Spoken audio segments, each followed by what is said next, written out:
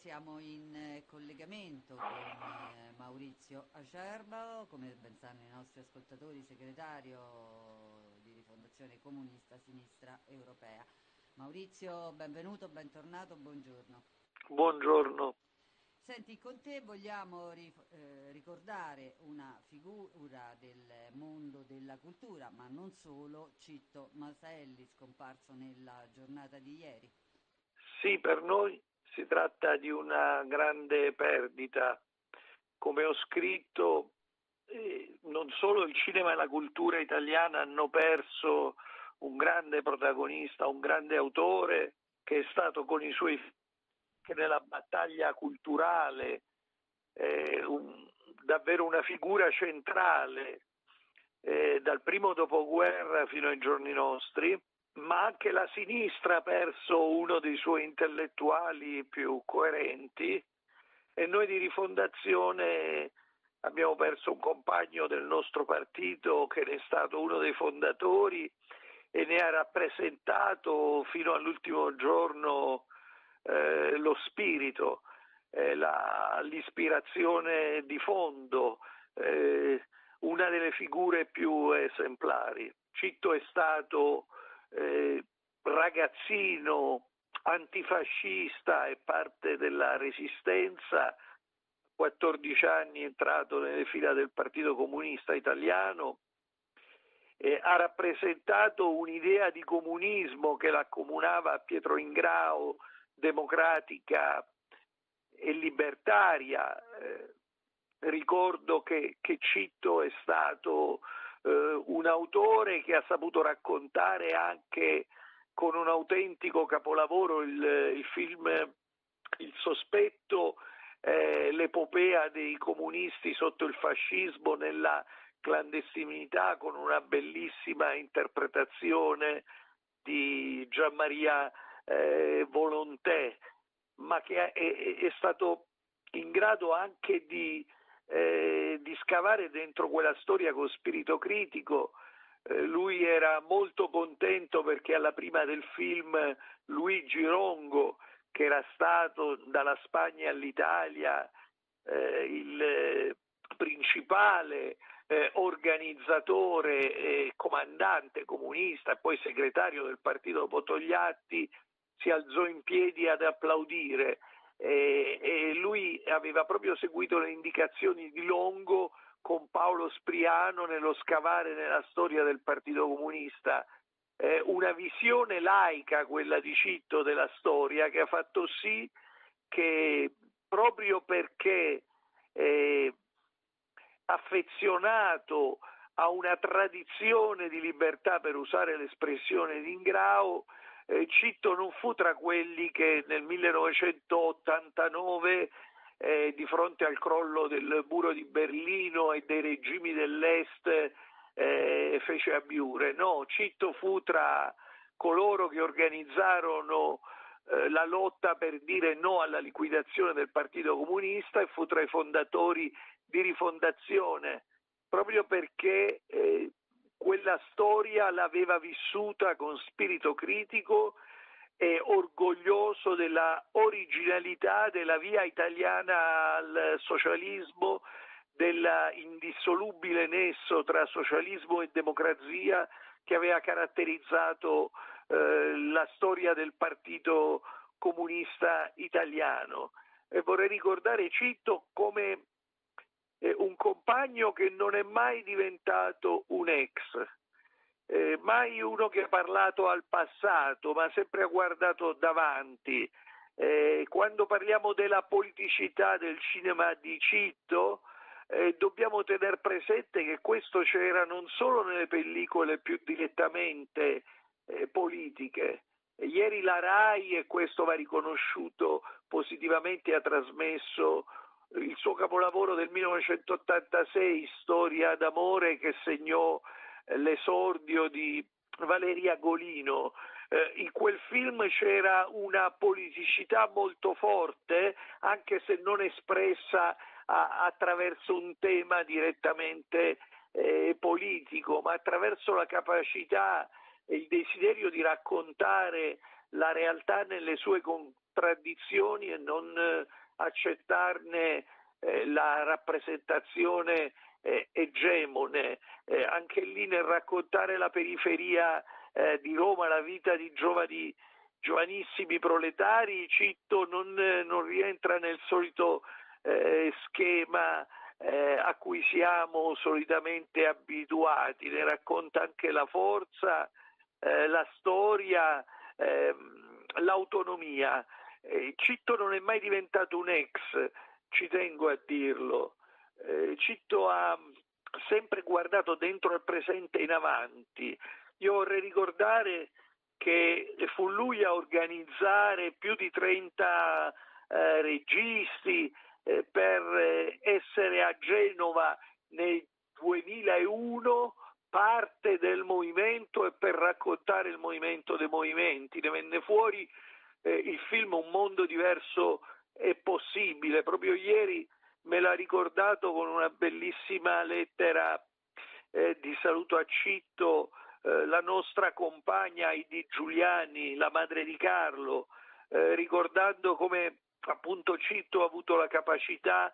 eh, di raccontare, di essere parte del, del movimento e portare altri eh, grandi autori, ne cito solo uno, eh, che fu anche iscritto al nostro partito, Mario Monicelli, a essere parte eh, di quel movimento insieme ai giovani. E Citto fu anche a Porto Alegre al Forum Sociale Mondiale, proprio perché non è mai diventato un reduce fino agli ultimi eh, giorni, è sempre stato eh, partecipe eh, non solo della vita del nostro partito, ma di qualsiasi lotta e mobilitazione nel campo della cultura come del, del sociale e della democrazia. Voglio citare due fatti proprio di queste settimane. Eh, la sua richiesta di, di avere la tessera dell'AMPI, di rinnovare la tessera dell'AMPI, eh, lui partigiano, ragazzino, eh, perché mai come in questo momento eh, scrisse che c'era bisogno di antifascismo nel nostro paese e il fatto che lui sia tra i primi firmatari e mi ha aiutato anche a raccogliere adesioni è l'appello del collettivo di fabbrica della GKN di Campi Bisenzio a sostegno della lotta degli operai per salvare la fabbrica, il lavoro eh, rispetto alla delocalizzazione e ai tentativi di di chiudere quella fabbrica, invece eh, è proprio il 25 marzo ci sarà una manifestazione a cui invito tutti a partecipare perché sarà un modo per essere a fianco a Citto eh, ancora una volta. Senti Maurizio, come vedeva gli ultimi anni, come giudicava gli ultimi anni politici dell'Italia con la nascita di, di alcuni movimenti, penso ai 5 Stelle, con lo sviluppo del PD, così come lo abbiamo avuto, che tutto sommato è parte dell'eredità del eh, Partito Comunista, insomma. No, Citto ha avuto sempre un... Eh, ha condiviso sempre la linea che noi abbiamo portato avanti dalla nascita del PD, cioè quella dell'alternatività al Partito Democratico, espresse, ha sempre espresso un giudizio molto critico eh, sullo spirito che ha animato la nascita del PD con Veltroni, eh, a cui pure lo legavano eh, un'antica militanza comune del Partito Comunista, ma fu molto critico. Eh, ricordo che in un'intervista in cui faceva un bilancio eh, del suo 68 eh, ricordava allora, proprio perché era proprio in occasione di quell'anniversario nel 2008, che il PD nasceva rinunciando al eh, conflitto di classe ehm, e che rappresentava anche sul piano culturale eh, la, la, negazione della storia eh, da cui eh, veniva. Eh, credo che Citto abbia sempre pensato che ci sia bisogno eh, di una politica che sia anche cultura. Eh, la storia di Citto è la storia di un comunista eh, che è cresciuto nel partito di Gramsci, quindi se la critica nei confronti del partito, eh, del partito democratico è sempre stata radicale, Citto è stato sempre in prima fila nelle lotte per la Costituzione, per la difesa dello Stato sociale, dell'articolo 18, dei diritti di lavoratrici e lavoratori, per il pubblico. Anche nella cultura Citto è stato molto critico perché ha sempre difeso il ruolo del pubblico rispetto alla, alla tendenza alla privatizzazione, ad affidare la cultura eh, al mercato e alla mercificazione. Tra l'altro ricordo che la moglie di Citto, la nostra compagna Stefania Brai, è la responsabile cultura del nostro eh, partito e con lei Citto ha sempre fianco a fianco eh, proseguito nel, nell'impegno eh, per un ruolo del pubblico forte nella cultura che si è perso e anche sulla comunicazione voglio ricordare